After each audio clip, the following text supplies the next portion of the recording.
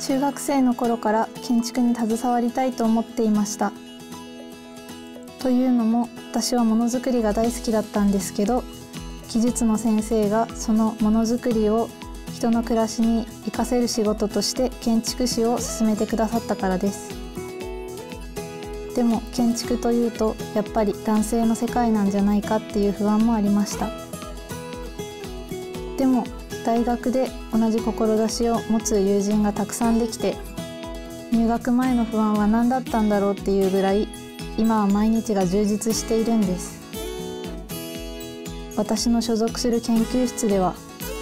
町おこしをテーマに活動しているんです。どんな町おこしかっていうと竹あかりと題して町中を竹の明かりで照らすオブジェを作ったりします。それは町の人を一緒に作る過程で巻き込んだりしていく町おこしです。またゆるキャラのおうち作りなども行っています。それはこう子どもたちと一緒にゆるキャラのおうち作りをする中で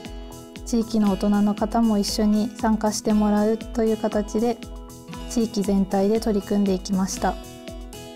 テーマに沿っていろんな場所に行くことが多いんですけど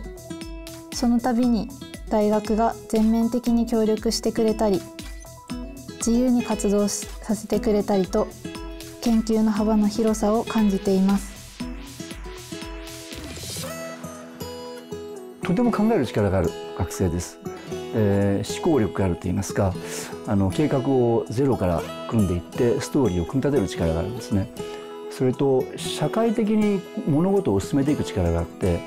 あの相手が行政の人でも民間の人でもですねちゃんとやり取りをしながらあの子たちの計画を進めていくことができます。